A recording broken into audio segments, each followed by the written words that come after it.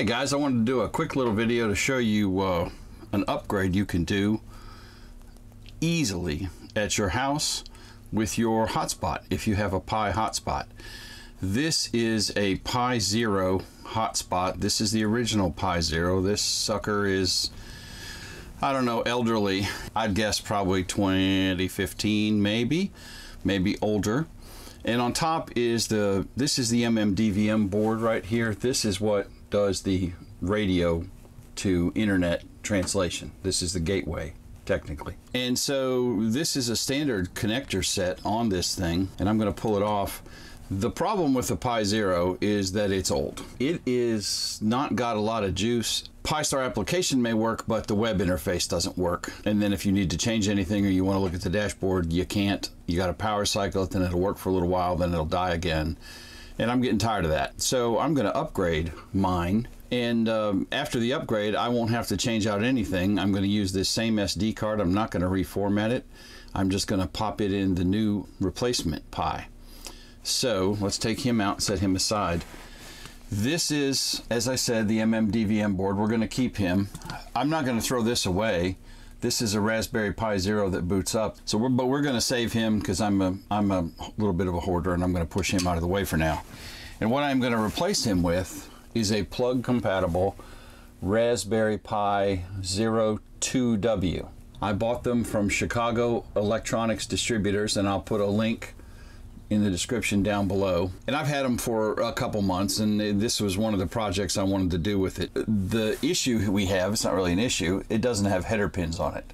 So I've got some header pins and I'm going to solder header pins on this and we're going to make it plug compatible with the old one so those pins match up and then it's just a matter of putting this board back on this thing sticking the SD card in and then I have a functional hotspot running on a much much faster Raspberry Pi.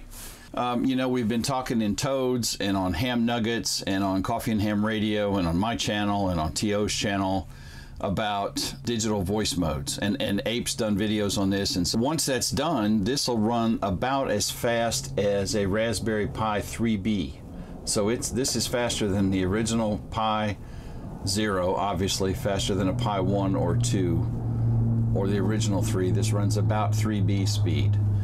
And the beauty of this compared to a 3B is this has onboard Wi-Fi and onboard Bluetooth if you needed either one of those. It has the uh, mid-sized HDMI connector, it has power, and it has a connector for using an OTG adapter to break it out into more USB ports if you needed real USB ports. The one thing it doesn't have is a wired network connection. So the next thing we're going to do is we're going to put this sucker in uh, some clips and solder us in some header connectors. Okay, so I've got our little headers cut to match these. Both sides there are five pins in two rows. So that's what it uh, exactly what I'm going to reproduce on this. I did one of these the other day and I replaced both rows of header pins and down the road I may or may not use them. I don't think I have enough header pins to do that, but I have enough to do this. So that's what I'm doing with this one. So we're going to get this mounted up and I'm going to tack these in on the back side and then finish soldering them.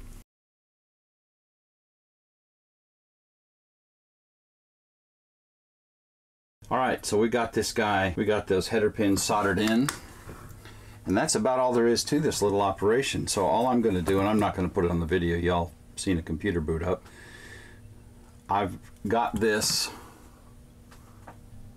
there we go. I've got those pins soldered in there. And then all we have to do on this thing is make this up to the hat, the MMDVM hat. And that is it.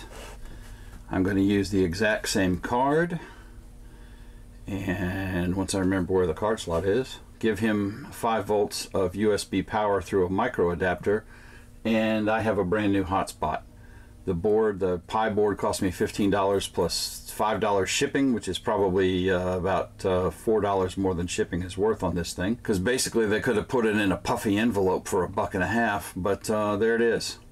So now I've got uh, a refurbished hotspot that will run the current version of Pi-Star software and do any of the fancy stuff that I may or may not want to do with Pi-Star. Guys, that's all I've got for this video. Thanks for watching. If you would, give me a thumbs up. If you like this content, make sure you're subscribed to the channel. And make sure you've rung that bell so you get notified whenever I publish any new videos. Appreciate it. 73, y'all.